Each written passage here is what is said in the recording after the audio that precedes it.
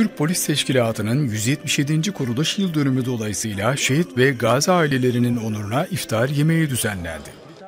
Hatay Valiliği himayesinde Hatay İl Emniyet Teşkilatı'nın düzenlediği iftar yemeğine Hatay Valisi Rahmi Doğan başta olmak üzere Hatay protokolü katılım gösterdi.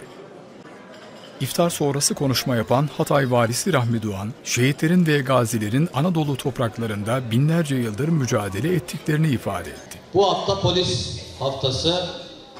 Bu vesileyle hem polis kardeşlerimizin bu haftaki yapacağı etkinliklerde bir arada olalım.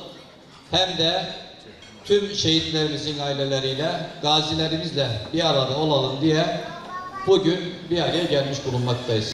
Şehitlerimiz bin yıldır bu milletin geleceği için, bu milletin refahı için, bu milletin müreffeh bir hayat sürmesi için, bu topraklarda ilelebet yaşaması için canlarını, kanlarını feda ediyorlar.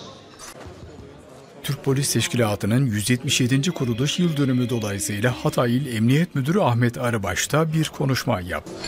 asayişin, güvenliğin ve bu şehirde huzurun sağlanması için mesai sarf eden bütün arkadaşlarıma huzurunuza teşekkür ediyorum.